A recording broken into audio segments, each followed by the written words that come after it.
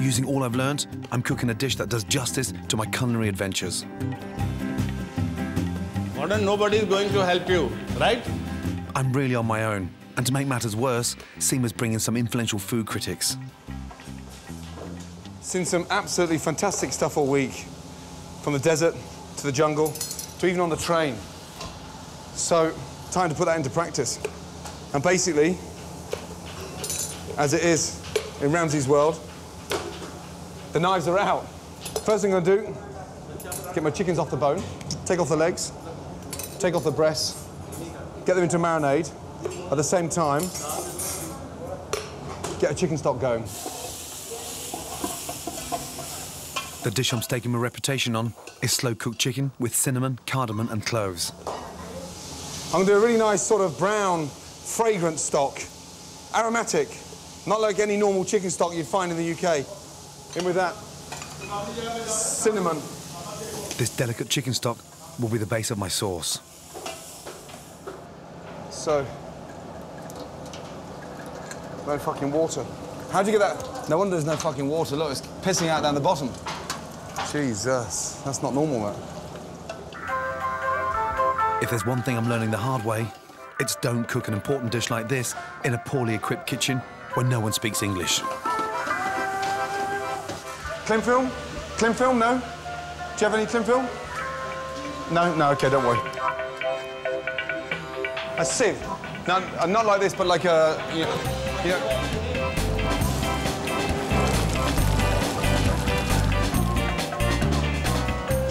Now I've burnt my fucking onions. Star anise. Aniseed star. Uh, star. Star, star, star, star. In the sky. S- star. Aniseed, fennel, star. Star. No, don't fucking wave at me. Fuck me. Star anise. Anise. No? If I succeed tonight, it'll be a miracle at this rate. Fuck me. I'm in the shit now. Yeah. Everyone stands and stares and fucking laughs, but I'm in the shit now. I'm gonna marinate the chicken now in the green papaya. This marinade is adapted from the one I used for the goat biryani at the wedding. Chili, a touch of clove powder, cumin, a little bit of turmeric, a little bit of salt, and a little bit of sugar. Get that mixed in. You know, I'm, I'm on the fly. You know, it's a collection of what we've seen, where we've been all week, and more importantly, you know, if it doesn't work, I'm gonna look fucking stupid. So it has to work. Right, chicken. The breasts in. Sorry, guys. I found a pumpkin to make a puree. There's no conventional oven to bake it in here, so time to use the one golden rule of Indian cookery. Think on your feet. Improvise, like we did in the jungle. I want to borrow your tandoori oven. Yeah? Thank you. Fuck. Shit. That's hot. Yep. Perfect.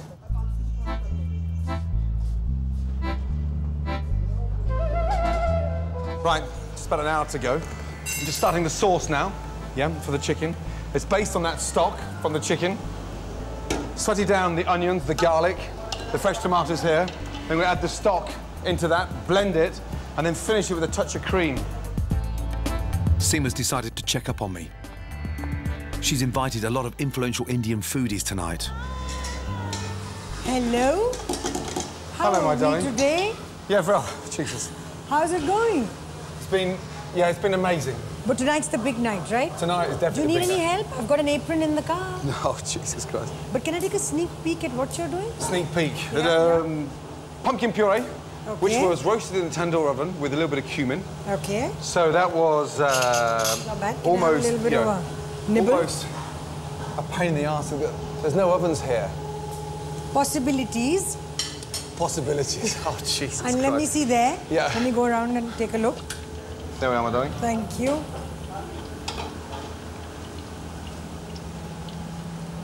Happy? That's promising. Promising. It's not I'm finished yet.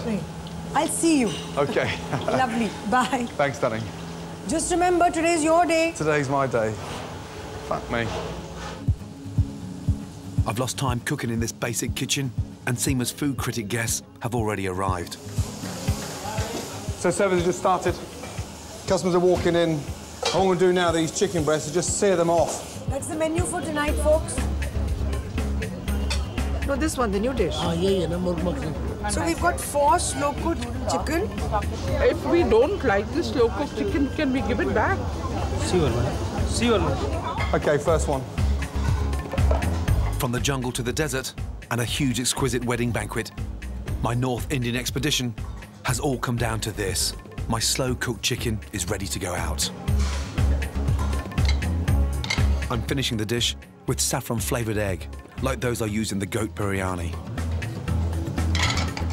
Go, please. Go. Let's go. Go then, let's go.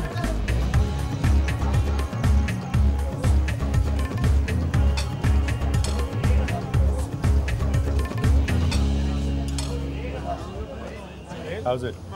Outstanding. Okay, so he's given his word. He says outstanding. Yeah, I mean, I, I, I really like it. It's it's, it's different. It's, uh, it's it's obviously really different to all the dishes they've had here till now. I love the succulentness of the chicken. You know, it's not stringy, it's not, and it's, and it isn't a very heavy, heavy kind of gravy. It's a wonderful mix using Indian spices but not overdoing it. It's been made by someone who is approaching Indian food or the food of Moti Mahal or whatever with a clean slate. Gordon, Darling? I've got to tell you, you've Yeah. done brilliantly. Everybody's enjoyed it and really liked it. Oh, really? Tell you what, it deceptively initially Yeah. looked like butter chicken. But everybody took a bite Yeah. and said, wow, this is so light, this is so lovely. And I loved your Yes? chicken. I wiped the plate clean. Oh, really? Yeah. So I want you to now come out. Okay. Let's just unveil you to the public.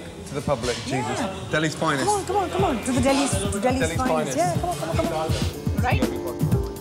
Hello. Good evening. What, what. Come, come, Ladies, come, how come, are we? Nice to see you. Good to see you too. Come, Gordon. I want you to meet everybody. Right. That's Gordon. Good evening, ladies, gentlemen. Welcome. How was the chicken? Very good. Outstanding. This has a, has a very distinct, light, happy flavor. Before you ask me any question, Right. that's the plate. Is there anything left? Uh, a bone, which is a good sign. It's delicious. Did you enjoy it? Fabulous. Yes. In fact, I think they should stick it on the menu. I'd order it again. Yeah, if I came here again, I'd definitely order it again. But I thank tell you you. something? You've passed. I've passed. You've passed. That's an honour. Thank you so much.